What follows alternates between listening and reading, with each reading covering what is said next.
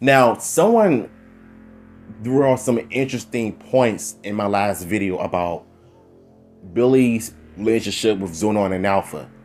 Because if y'all remember in Once and Always when he was trying to bring Zordon back, but due to the events from in space when Andros killed Zordon in order to wipe out the evil from the Z-Wave.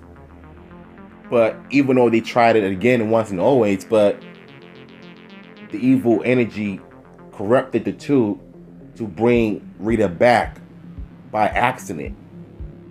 But in Cosmic Fury, even though they're going to be fighting on a distant planets, now Lord Zedd did stated that he was going to be in Eltar.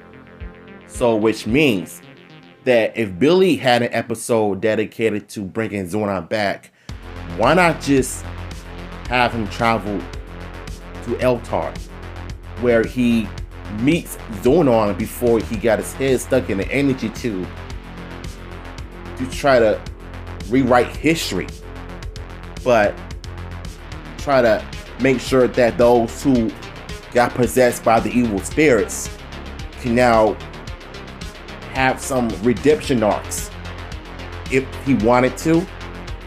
But I'm not saying that he should, but it's possible. I could definitely see Billy going in different planets to search to bring Zordon back. But it's it's unfortunate that that's not going to happen anytime soon. But it's just a theory of mine of what if he actually had help from the alien rangers or of the rangers from distant planets like Terra Venture, Etenoi, Eltar, Aquitar. I mean, they can pretty much come together to try to bring Zordon back, you know. It could work, I'm not sure, but what are your theories on this? Let me know in the comments. I'm gonna catch you in my next one.